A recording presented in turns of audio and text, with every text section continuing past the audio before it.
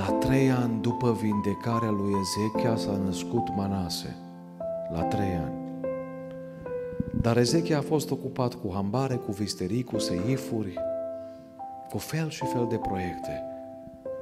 Și Manase crește într-o casă unde sunt prorocii, sunt vindecări, unde intră proroci, dar unde tata nu are timp de copil. Spunea o fată către tatăl ei, tati, cât îți dă patronul pe oră? Și au zis, tata, bani mulți, 50 de dolari pe oră. Și au zis fetița, tati, am strâns și eu cu greu 50 de dolari. Dacă ți-i dau, stai o oră cu mine. Educația este cea mai puternică armă pe care o puteți folosi pentru a schimba lumea. Educă copiii și nu va fi necesar să pedepsești adulții. Iubiții mei, vreau cu responsabilitate să ne uităm acum și la familie, dar și la copii. Să știți că copiii simt foarte, foarte bine când soții se înțeleg bine. Copiii simt foarte bine când partenerii, când părinții lor sunt pe aceeași lungime de undă. Copiii vor petrece mulți ani din copilăria lor căutând scăpare sau salvare la unul din cei doi părinți și vrând să vadă care e mai blând, care e mai permisiv. S-ar putea, iubiți părinți, Dumnezeu să nu ne întrebe de parchetul din bucătărie, de gresia din baie, dar cu siguranță Dumnezeu ne va întreba de copiii pe care ne-a dat. Biblia spune că copiii sunt o moștenire de la Domnul. Și atunci când Dumnezeu îți lasă o moștenire, te va întreba cum te-ai ocupat de moștenirea respectivă. Astăzi vreau să ne uităm la câteva categorii de copii crescuți, greșiți din vina părinților. N-am venit să vă învinuiesc, mi-e foarte ușor să predic astăzi că nu vă cunosc. Mi-e greu la Deva, la noi să predic. Că orice spui se poate reinterpreta. Știți? Dar aici aș vrea să spun ceea ce mi-a pus Domnul pe inimă și dacă se poate, aș vrea să prevenim, că e mai ușor să previi decât să tratezi. De aceea ne vom uita la șapte categorii de copii crescuți greșit din vina părinților. 1. Prima categorie de copii, copiii favoriți. Copiii favoriți. Asta e un subiect sensibil. Genesa 37 cu 3, Israel, Iacov, iubea pe Iosif mai mult decât pe toți ceilalți fii ai săi pentru că îl născuse la bătrânețe și i-a făcut o haină pestriță. Iubiți părinți, să avem foarte mare grijă. Copiii favoriți întotdeauna vor produce ceea ce a produs și Iosif prin neglijența tatălui în inima fraților lui. Ascultați! Frații lui au văzut că tatăl lor îl iubea mai mult decât pe ei toți și au început să-l urască. Nu puteau să-i spună nicio vorbă prieteniască. Am observat părinți care fac cadouri doar la unii dintre copii. Acum când ai un copil, unul singur, dacă e favoritul tău, nu vă condamn. Ăla poate fi copilul favorit. Dar să vă păzească Dumnezeu când aveți 2, 3, 4, 7 ca și noi. Nu știu dacă ne invidiați că avem 7. Asta e o invidie bună. Să știți că atunci când faci un cadou la unul din șapte, trebuie să faci la șapte, nu la unul. Însă, dacă nu suntem atenți ca și părinți, putem produce multă ranchiună și rebeliune în inima celorlalți frățiori, dacă ceilalți frățiori vor observa că tata sau mama are o afinitate aia aparte pentru unul din copii. Îmi spunea o tânără din România, nu vă spun de unde, nu vă spun cum o cheamă, cu lacrimi în ochi, frate Cristi, mergeam la mama și îi ceream 5 lei și îmi spunea, nu am. Mergea sora mea după 5 minute, îi cerea 5, primea 10. Și tu îmi spui mie, frate Cristi, să vin la, la biserică unde îi tata și mama în biserică? Eu nu pot să-i văd față în față. Pentru că am crescut cu nedreptatea asta în inimă. că mama sau tata o iubit-o mai mult pe sora mea decât pe mine. Uitați-vă la Esau și Iacov, preferințele părinților au dus la multe conflicte între acești frați. Genesa 25 cu 28, Isaac iubea pe Esau pentru că mânca din vânatul lui. Rebecca însă iubea mai mult pe Iacov. Știți că 20 de ani cei doi nu și-au vorbit? Știți că ani de zile cei doi au fost în conflict, poate mai bine de 20 de ani. De ce? Pentru că părinții au semănat o sămânță. Iubiții mei, dacă samen roșii, o să crească roșii. Dacă nu samen nimica, s-ar putea să crească buruiană. Dar cel mai nociv este să sameni cu mâna ta scăieți. Ăla e cel mai nociv. Doi, o a doua categorie de copii crescuți greșit din vina părinților sunt copiii protejați. Puiu, mami, du-te, fă tu unghiile, stai pe Facebook, face mama vasele, nu pune tu mâna, draga mea, că ai niște degete așa sensibile. Suntem foarte grijuli ca și părinți ca ei să nu facă un efort prea mare, să nu pună mâna pe nimic. Vreau să vă spun astăzi ceva ce s-ar putea să vă șocheze. Vremurile grele nasc oameni puternici. Vremurile ușoare nasc oameni slabi și leneși. Copiii care cresc astfel vor avea pretenția ca după căsătorie soțul sau soția să-i ducă mâncarea la pat în fiecare dimineață. Vă vine să credeți, cunosc personal astfel de cazuri. Și nu dau detalii că se filmează. Dar au ajuns la lucruri grele. De ce? Pentru că el așa a fost crescut, protejat, să nu pună mâna pe nimic, Iubiții mei, comoditatea naște leneș, sacrificiul naște oameni harnici. Scria un bărbat pe internet așa când era un copil. Tata mă punea mai întâi să dau de mâncare la cei 14 cai pe care aveam acasă și apoi mâncam eu. Mi s-a părut așa de dur, tata. Acum îi mulțumesc. Că o zis, m-au format greutățile în copilărie. Acum voi n-aveți nici cai, nici găște, poate Fratele Cornel mai are câte ceva acolo, Domnul să-l binecuvinteze. Și eu am 50 de găini pe acasă. Numai că mi se pare că și mănânc cele mai scumpe ouă din Deva. Știți? Am vrut să-mi iau iepuri acum câțiva ani și am întrebat pe copii dacă tata vă cumpără iepuri, care vă ocupați de ce? Și unul dintre copii, tati, angajăm o slugă. M-am dat seama cine o să fie sluga și n-am mai cumpărat. Știți? Am zis, gata. Ianis, băiatul care are acum 8 ani, era mic și într-o zi când l-am pus să facă ceva, au zis, nu vreau să fiu slugul tău. Dragii mei, e adevărat, copiii nu o să meargă de la sine să facă ceva.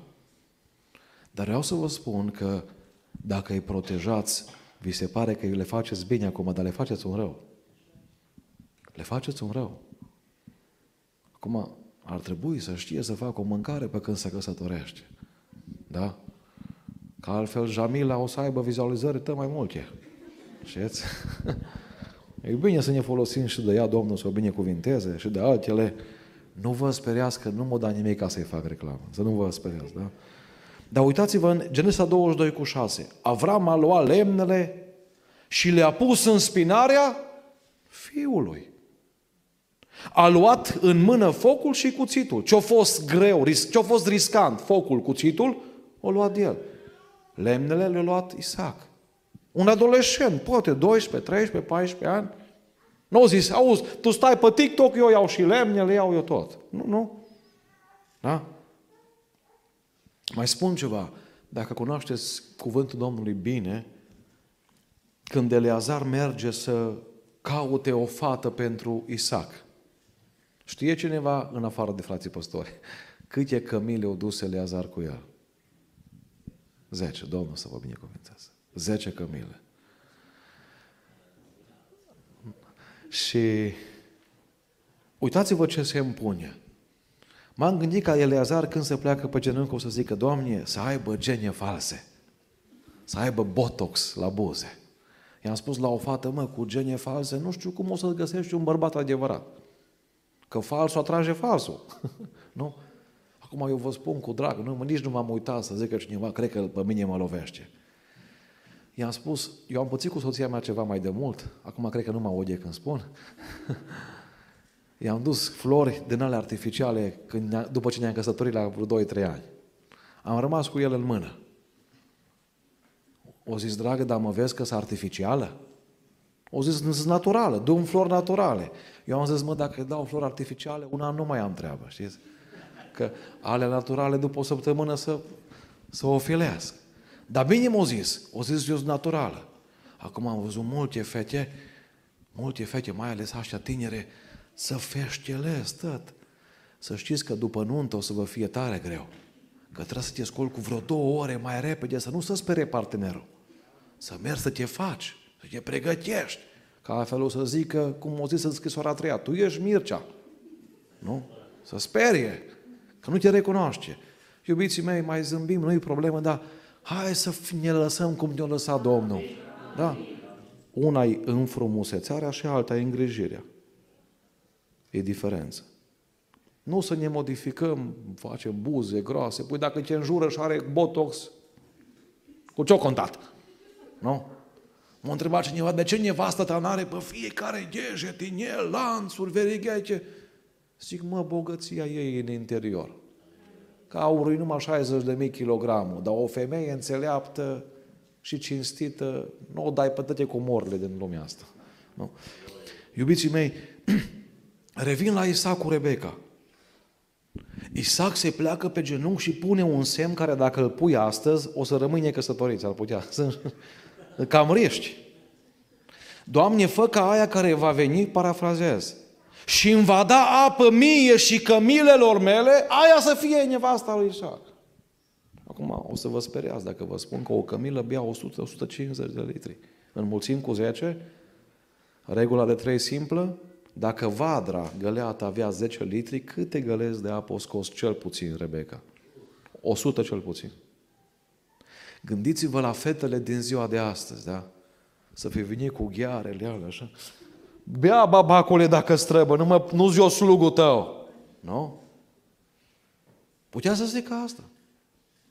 Iubiții mei, știți ce o știu Eleazar? Că banii să fac greu și să cheltuie ușor. Și dacă zi una care nu valorifică munca, tot ce-o câștigat Isaac într-o viață, ea face praf în trei zile. Eu cunosc caz în țară, 3.000 de euro câștigă el în construcții cu greu, ea în trei zile îi termină. Știți de ce? Că ea nu da la betonieră o lopată în viața ei. Eu am văzut-o cu ochii mei, mama soacră cu 12 copii dând la betonieră. Vă vine să credeți lucrul ăsta? Eu am văzut soție de păstor în țară care te încuia cu soțul ei că n-avea bani să-și plătească manopere la casă. Da? Astfel de femei, acum nu zic să dați la betonieră, dar zic să creșteți copii care să știe ce înseamnă munca. Nu-i protejați prea tare. O scos apă Rebecca pentru soțul, pentru Eleazar, pentru Cămile, și apoi Dumnezeu o binecuvântat-o. Vă mai spun ceva, dacă ți-e ușor când ești mic, îți va fi greu când ești mare. Dacă ți-e greu când ești mic, îți va fi ușor când ești mare. Pentru aia românii, uitați-vă, crescut sub comunism, cu greutăți, cu probleme, românul oriunde se descurcă. Dacă trebuie să dea cu mopul, dă cu mopul. Dacă trebuie să schimbe țigla pe casă, orice. Românul nu se dă în spate, că o cresc cu greu. Nu știu cum o să fie copiii noștri, că și eu am emoții, să știți. Trei. O altă categorie de copii, iubiții mei, crescuți greșit, într-un mod greșit, din vina părinților, sunt copiii nemustrați niciodată. Întâi împărați 1 cu 5. Adonia s-a sumețit până acolo încât a zis, eu voi fi împărat. Și și-a pregătit care, călăreți, 50 de oameni care alegau înaintea lui. Și următorul verset. David, tatăl său, nu-l mustrase niciodată în viața lui zicând, pentru ce faci așa? Adonia, de altfel, era foarte frumos la chip și se născuse după Absalom. Iubiții mei, David a fost un, tat, un uh, împărat extraordinar, un profet deosebit, un proroc extraordinar, dar a fost un tată slab. O să vă spun poate cel mai important lucru de predică acum. Lucru din predică. Frumusețea fără disciplină e cale sigură spre eșec. Era frumos Absalom. Era deosebit Absalom. Însă, uh, Adonia, însă tatălui nu, a, nu l-a mustrat niciodată. Ce înseamnă a mustra? Adogenia, a corecta verbal, a imputa cu scopul îndreptării. Lipsa mustrării, spune Biblia, aduce moartea spirituală. Proverbe 15 cu 10. Cine părăsește cărarea este aspru pedepsit și cine urăște mustrarea va muri. Prezența mustrării aduce viață. Proverbe 6 cu 23. Sfatul este o candelă, învățătura este o lumină, iar îndemnul și mustrarea sunt calea vieții. Vrei un copil înțelept? Auziți, nesocotitul disprețuiește învățătura tatălui său, dar cine ia seama la mustrare ajunge înțelept. Proverbe 15 cu 5. Iubiți părinți, iubiți, iubite surori, frați, tați, trebuie să ne facem timp să ne și corectăm copiii, să-i mustrăm atunci când greșesc. Proverbe 5 cu 7, Fiule, ascultă-mă și nu te abate de la cuvintele gurii mele, ca nu cumva să gem. Ascultați? Ascultarea mustrării te va feri de regrete mai târziu. Ca nu cumva să gem la urmă când carnea și trupul ți se vor istovi și să zici, cum am putut eu să urăsc iertarea și cum a disprețuit inima mea mustrarea. Patru, o a patra categorie de copii crescuți greșit, din vina părinților sunt copiii nedisciplinați sau necorectați. Vă amintiți de el, iubiții mei? Biblia spune că Eli a mustrat pe copii. Dar mustrarea nu e suficientă. Însă Eli nu i-a disciplinat pe copii niciodată. Acum cunosc țara în care locuiți, cunosc împrejurările în care suntem și pot să vă spun ceva codat. Sunt pedepse care dor mai tare decât orice disciplinare. Și acum o să vă spun ce am pățit eu cu fratele meu. Eram, eu vreau vreo 9 ani, fratele meu vreo 7 ani jumate, cam așa, aproximativ dacă nu chiar 10. 10, 11 poate. Și o familie din Arad se muta în America. Acum când cineva se muta în America pe vremea aceea, vindea totul la ofertă. Că pleca repede. Noi nu știam că mama și tata s-au hotărât să ne cumpere niște biciclete. N-am știut. Am aflat apoi, dar n-am făcut legătură cu un test pe care mama și tata ne l dat. Mama mea lucra, lucra în croitorie, să vă ferească Dumnezeu să trebuiască să faceți curat după croitorează. Descamele nu sunt pe covor, sunt în covor. Nu știu cum ajung acolo, îs în covor efectiv. Și mama ne-a pus pe mine și pe fratele meu să facem curat. Nu ne-a spus că între curățenia aia și biciclete este o mare legătură. Că dacă știam, o, Doamne, Doamne, dă-ne putere, ce bine făceam. Noi am făcut, așa cum se spune la români, de mântuială. Am mai și băgat sub covor, că am crezut că mama nu e așa de așteaptă să ridice covor. Știți? Și la finalul antrenamentului ni s-a spus că bicicletele nu mai vin. Iubiții mei, vreau să vă spun că am umblat pe jos ani de zile, dar știu să fac curat astăzi. Deci știu să fac curat. Dacă ne bătea mama, nu ne-ar fi, dorit, nu ne-ar fi dorut cum au dorut asta. Fă-ți timp să dacă e nevoie să și disciplinezi copilul. Tu știi, unde îl doare mai tare. Poate un cadou care nu îl cumperi. Un Lego care, peste care sar, știi? Iubiții mei, copiii trebuie să știe clar că dacă faci răul, ești pedepsit cu rău. Și acum fiți atenți. Dacă nu-l pedepsești tu când e mic, îl va pedepsi legea când va fi mare. Știți câte mame îmi scriu, frate Cristi, roagă-te că băiatul meu e la pușcărie. Vă garantez că mai tare vă doare când e mare și îl pedepsește statul, decât acum când îl pedepsești tu, plânge 20 de minute și gata. Copiii mei, de exemplu, se joacă o singură oră pe săptămână pe calculator, o singură oră sâmbătă. Nu vă spun că așteaptă sâmbătă mai ceva ca evrei sabatul. Asta nu vă mai spun. Dar, de exemplu, noi apelăm des la pedeapsa asta. Ai făcut o prostie mare, sâmbătă asta nu te joci.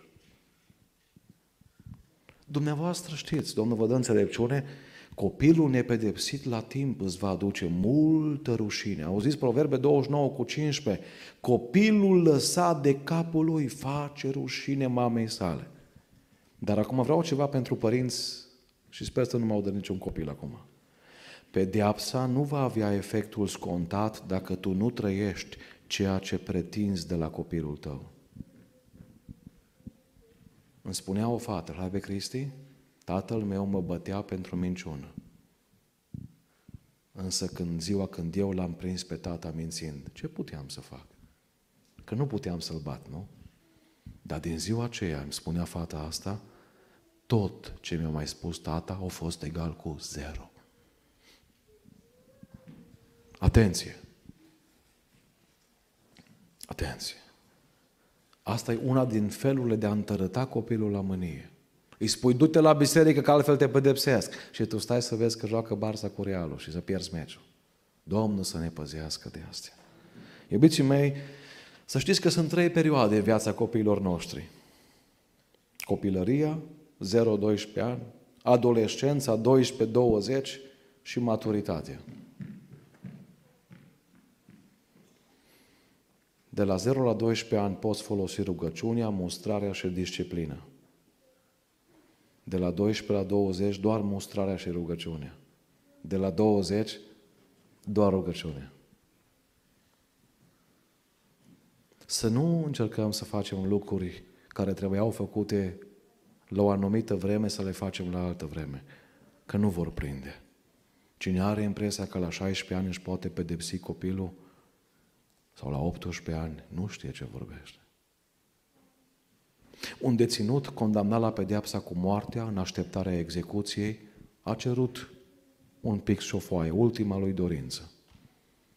După ce a scris timp de câteva minute, condamnatul a chemat gardianul închisorii și a cerut ca acea scrisoare să fie dusă mamei lui.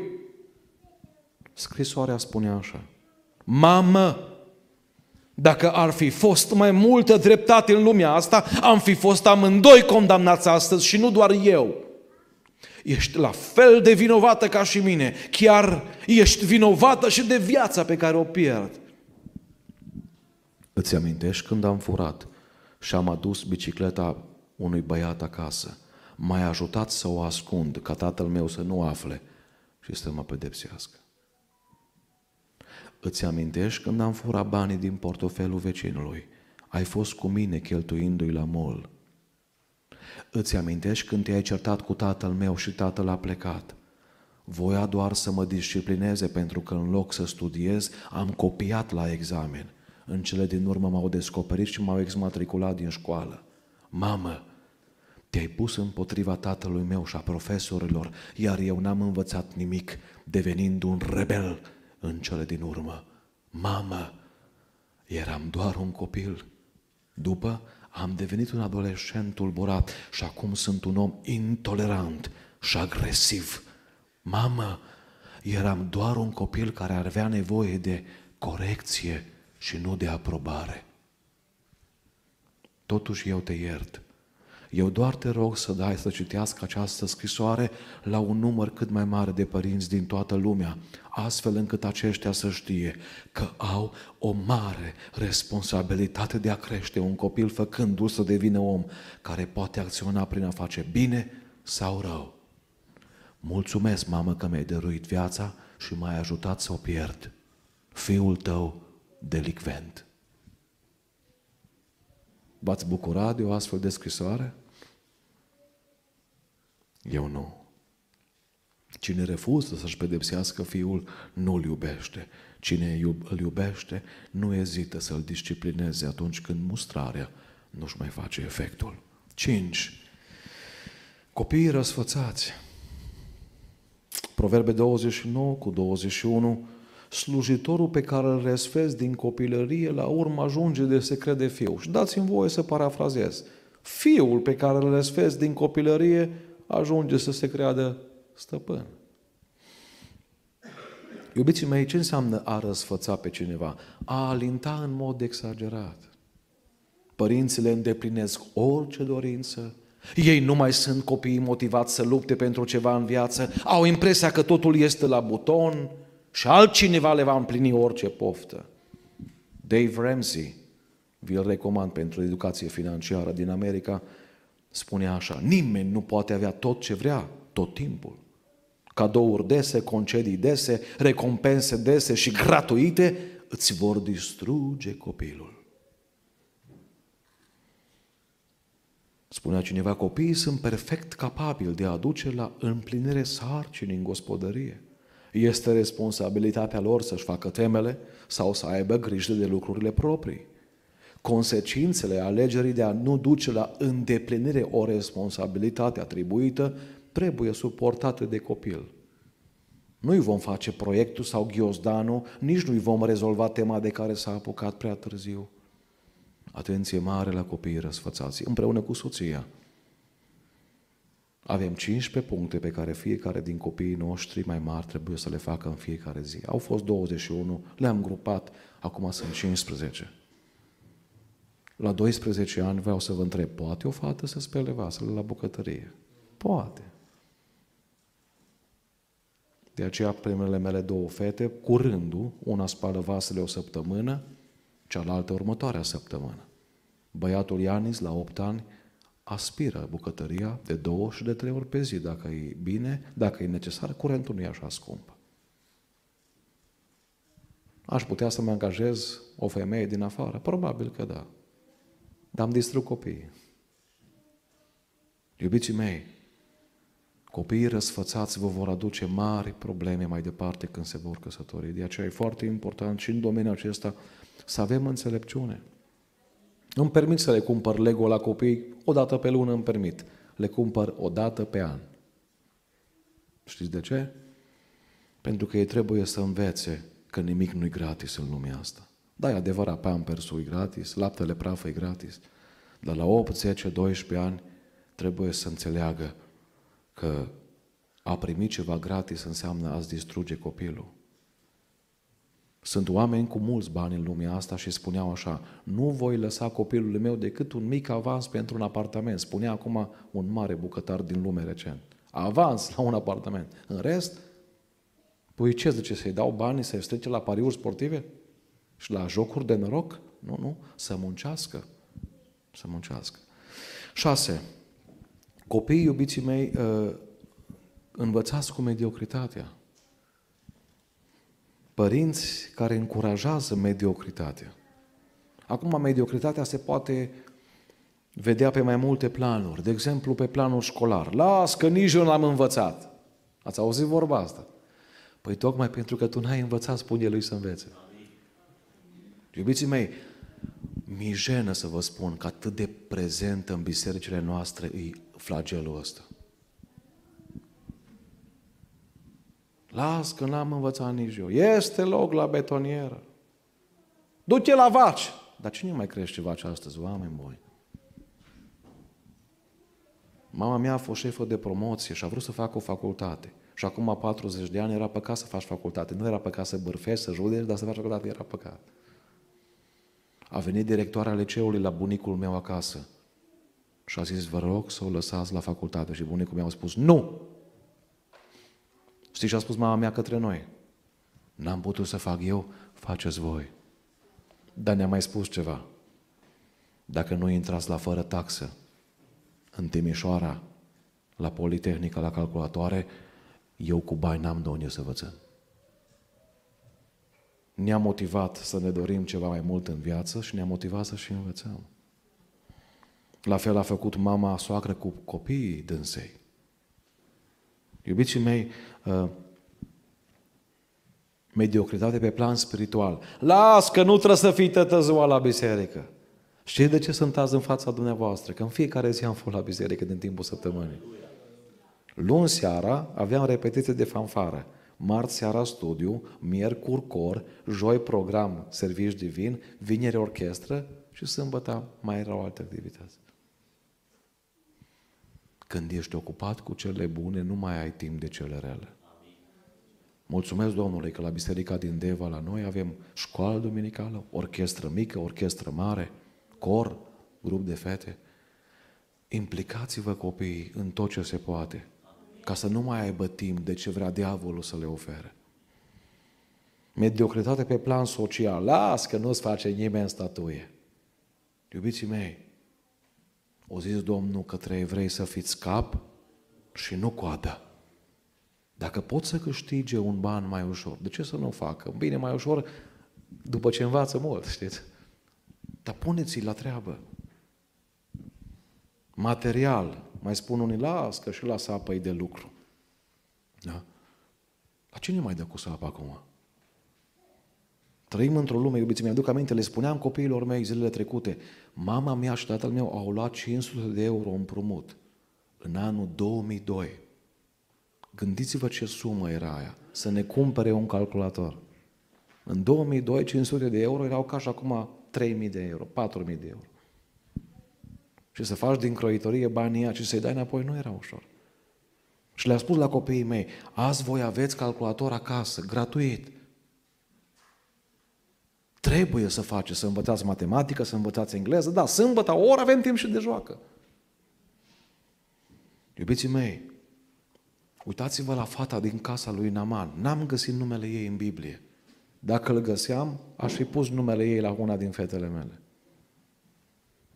Imaginați-vă că fata aceea făcea curat, spăla vase, ce trebuia să facă prin casă? Era roabă, era sclavă. Și într-o zi se uită la Naman și spune leacă oftat. Oh, ah, dacă stăpânul meu ar fi la prorocul Elisei, ar fi tămăduit de boala aceasta. Vreau să vă pun o întrebare. Undeva la o mie de kilometri cel puțin au făcut Naman ca să ajungă în Israel. Ai merge o mie de kilometri pe cuvântul unei fete care bagă mizeria sub sau care dă cu mopul și rămâne în spate numai mizerie? Știți ce înțeleg eu de la fata asta? Că fata asta, în primul rând, își făcea treaba impecabil. Să iei cuvântul ei, să merg la împărat, numai dacă ea a fost o slugă perfectă. Din punct de vedere spiritual, la fel. Legea îi spunea dinte pentru dinte.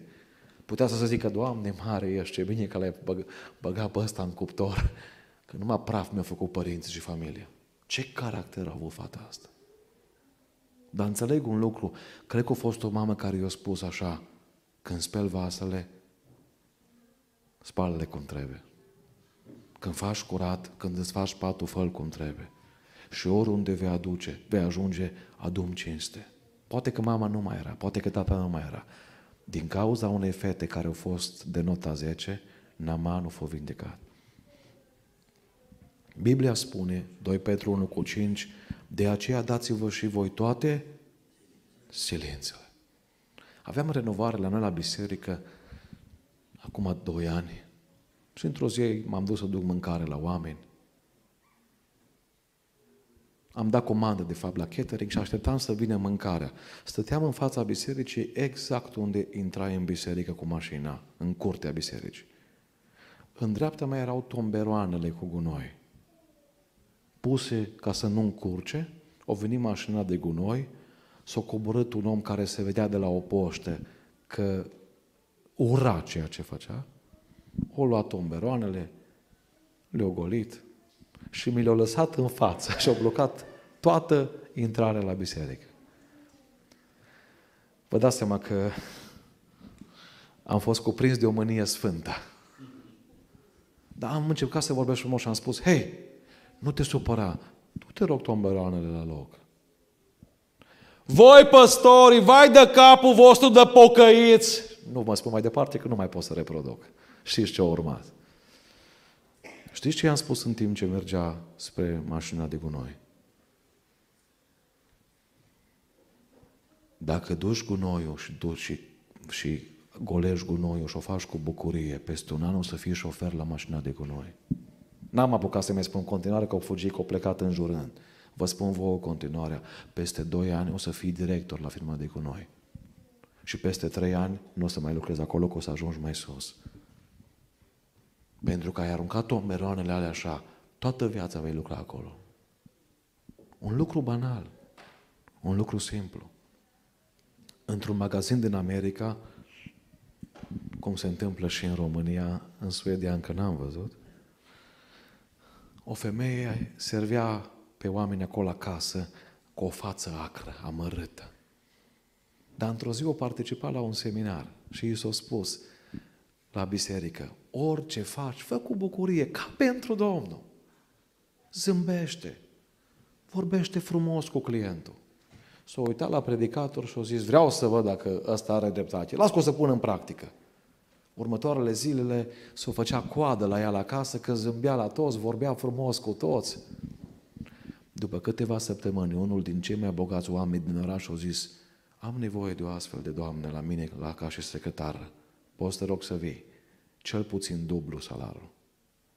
De ce? Să nu vă mulțumiți cu mediocritatea în viață, iubiții mei. Tit 3 cu 14. Trebuie ca și ai noștri să se desprindă să fie cei din tâi în fapte bune, pentru nevoile grapnice și să nu stea neroditori.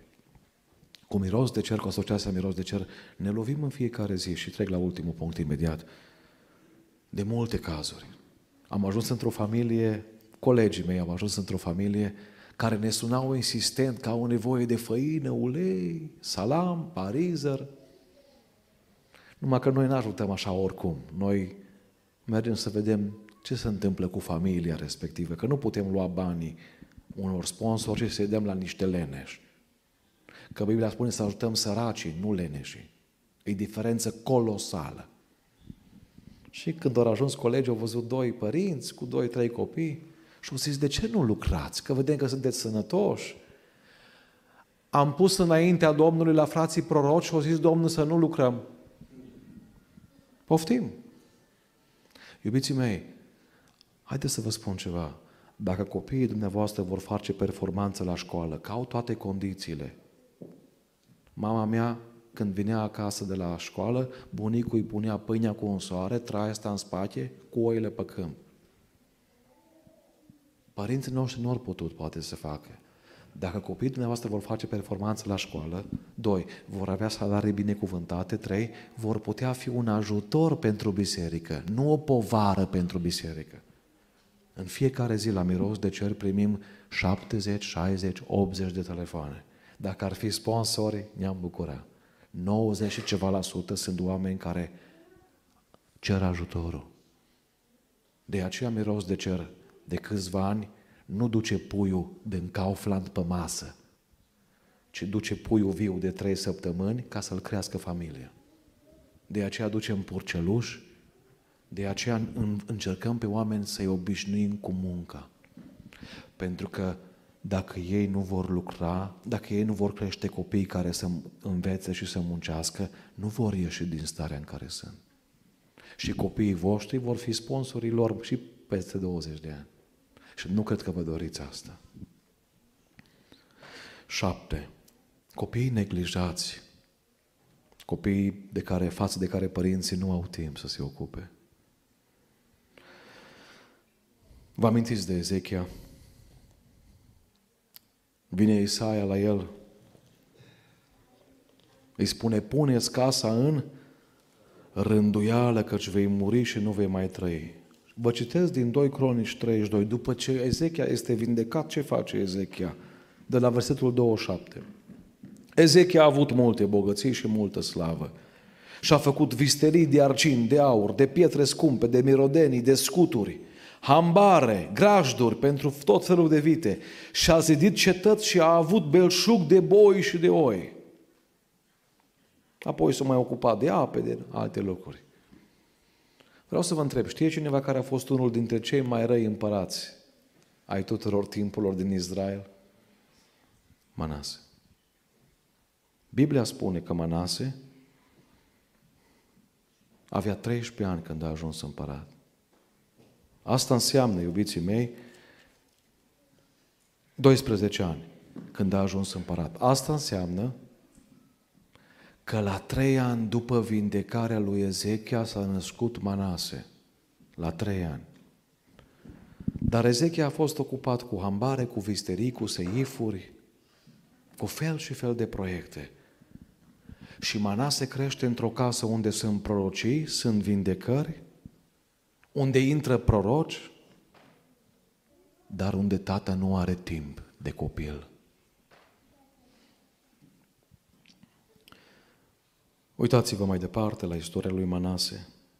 Este singurul împărat comparat cu Ahab, cel mai rău împărat al lui Israel. Ei au fost cei doi mai răi împărați.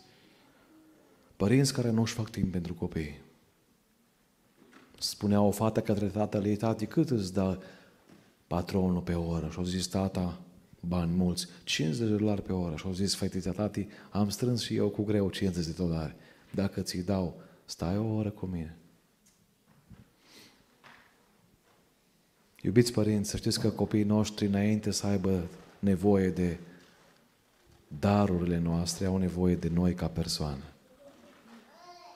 Biblia compară copiii cu niște săgeți. Mă uit la fata mea care are 12 ani. Mă gândesc că peste 8-10 ani va pleca ori la facultate, ori în căsătorie. Nu știu cum au trecut 12 ani. Biblia spune că copilul e ca o săgeată. Te uiți la săgeată, o șlefuiești, o pui în arc, țintești, o dai jos, o șlefuiești, o pregătești la vârf și într-o zi spune, tati, am intrat la Cluj sau am intrat la Stockholm și pleacă. Și în momentul ăla nu mai poți să faci nimic, săgeata a plecat. Nu poți să-i dai pix cu cameră video să o urmărești. Că cu cât o urmărești mai mult, cu atât se ascunde mai mult. Dar știi ce poți să faci? Să te rogi. Știi ce spune Pavel? Eu am semănat, Apollo a udat, Dumnezeu face să crească. Iubiții mei, avem două feluri de părinți în bisericile noastre. Părinți care și-au făcut timp să semene. Soția mea petrece aproape o oră cu copiii în fiecare zi la părtășie. Asta pe lângă faptul că încercăm să-i creștem cu cărți creștine. Fetele mele cele mari două au citit împreună peste 250 de cărți creștine până acum.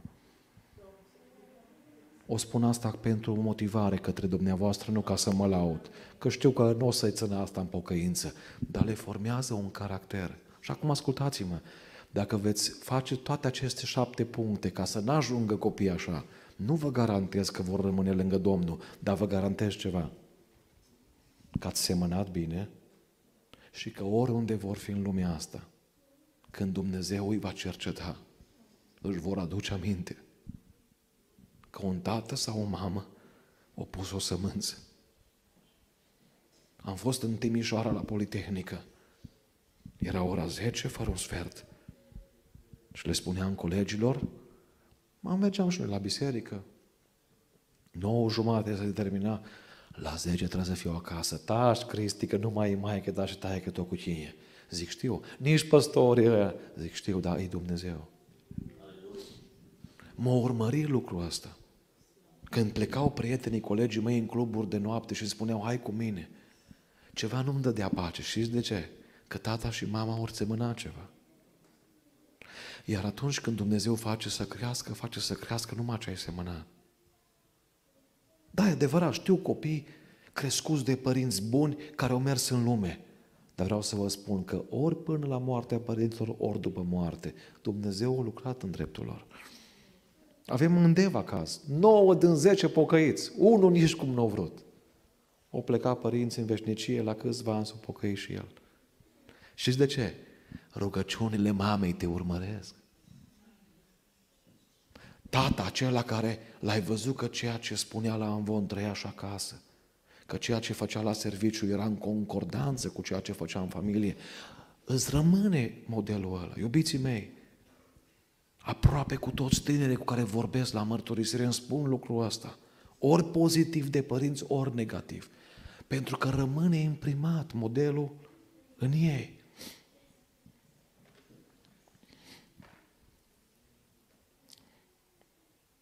Charles Adams a ținut un jurnal și într-o zi a scris Azi am fost la pescuit cu fiul meu.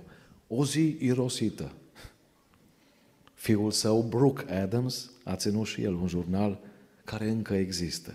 În aceea zi, Brooke Adams a scris așa, M-am dus la pescuit cu tata, cea mai minunată zi din viața mea. Tata credea că pierde timpul în timp ce pescuiește cu fiul său. Dar fiul său a văzut asta ca pe o investiție de timp. Îmi spunea un tată, frate Cristi, eu am fost și cu disciplina, dar și cu adidașii de fotbal cu copiii. Știți ce vreau să vă spun? Să fiți și prietenii copiilor înainte de a fi discipolilor. Și eu mă joc cu copiii mei acasă fotbal, dacă vreți să mă credeți în curte. Mă joc cu ei cât un sfert de oră pe zi, jumătate de oră, că îmi prinde bine și mie să alerg un pic. Dacă ești prieten cu copilul tău, va accepta mai bine mustrarea. Dacă ești doar un om care mustră și care disciplinează, el se va simți încorsetat și când va evada, o va face cu totul. Mă apropii de încheiere spunându-vă că îngerul din cer îi spune lui Agar ceva de preț și pentru noi în educația copiilor. Genesa 21 cu 18, scoală-te, ia copilul și ține-l de mână, că își voi face din el un ea mare. Câte predice s-au auzit despre asta? Rar se predică. Iubiții mei, îngerul din cer au zis, aici la noi în cer vedem o problemă între tine și copilul tău. E prea mare distanța. Du-te și ia copilul de mână. Mai am un gând. Atenție mare când le dați telefoane. Fata mea are 12 ani și nu are telefonul ei. Iubiți părinți, nu vă băgați în iad copiii cu mâna voastră. Copiii românilor consumă pornografie de la șase ani. De pe telefon. Poate nu vă place asta? Ce vă spun acum? Am prieten în Australia, copilul are 16 ani și nu are telefon încă. La 17 ani celălalt frate i-a primit telefon că deja merge la servici. Atenție foarte mare, nu vă trimiteți copiii în iad cu mâna voastră. Când tatăl meu sau mama mea vrea să vadă pe cineva care se sărută pe stradă, poate odată la câțiva ani vedeau lucrul ăsta. Acum scrii pe Google și vezi toate mizeriile. Atenție! Telefonul nu este păcat, el este neutru. La fel cum cuțitul nu-i păcat. Cuțitul este neutru. Însă dacă ești un om mânios și ai cuțitul la îndemână, știi ce se întâmplă? Dacă ești un bucătar și ai cuțitul la îndemână, ajungi masterchef. Cristi Boariu va folosi telefonul și banii și mașina în funcție de caracterul pe care îl are. Dacă ai 10 euro în pormoneu și ești un om milos, când o să ai 100, o să fii milos la 10 Dacă ai 10 euro în pormoneu și ești un avar, un zgârcit, când o să ai 100, o să fii zgârcit la 10 Euro ăia nu-s păcat, ei sunt neutri bani în sine. Eu folosesc bani în funcție de caracterul meu. Problema este că copiii la șase ani se taie, se pot tăia cu cuțitul. Și cu siguranță se rănesc cu telefonul. Dați-le telefonul vostru o dată pe zi sau o dată la două zile, puneți-le orar, există aplicații Duolingo, există lucruri pe YouTube care pot fi vizionate împreună despre natură, nu lăsați copiii singuri pe telefon. Fiți atenți, iubiți părinți. Tot ce nu faceți voi acum va trebui să facem noi ca păstori mai târziu. Vă vine să credeți că primesc și 100 de mesaje pe zi pe Instagram, Twitter, Facebook, YouTube, WhatsApp? Nu mai rezist. Răspund la 5-6 pe zi, că nu am cum să răspund la toate.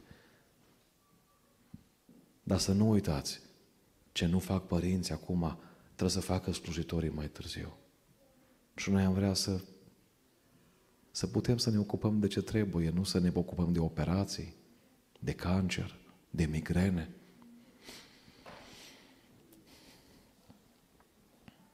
Educația este cea mai puternică armă pe care o puteți folosi pentru a schimba lumea. Educă copiii și nu va fi necesar să pedepsești adulții.